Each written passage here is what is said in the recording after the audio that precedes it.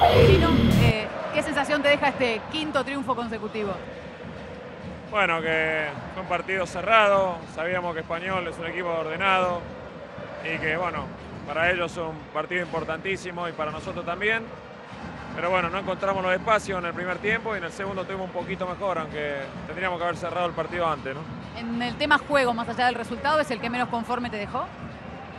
Y sobre todo la primera parte, ¿no? Tuvimos muchas prisas, tuvimos un poquito mejor la segunda parte, pero bueno, tenemos muchas cosas para seguir mejorando, ¿no? Por ejemplo, contanos qué, en qué van a trabajar de acá adelante, porque pareciera que un equipo que gana todos los partidos no tiene nada por corregir. No, no, nosotros recién empezamos y yo creo que manejar los diferentes momentos del juego tenemos que mejorar mucho en eso. ¿no? ¿Por qué decidiste poner a, a Benítez de mediocampista desde tu llegada al rojo? Algo que te está resultando, hizo cuatro goles ya. Bueno, es una opción para... Uno tiene que tratar de jugar de la manera que jueguen los mejores jugadores. Y bueno, eh, yo creo que puede jugar, ha hecho goles jugando por izquierda o de delantero, así que es una buena alternativa. ¿Sentís que estás respetando la idiosincrasia del hincha de Independiente, algo que algunos por ahí temían antes de tu llegada?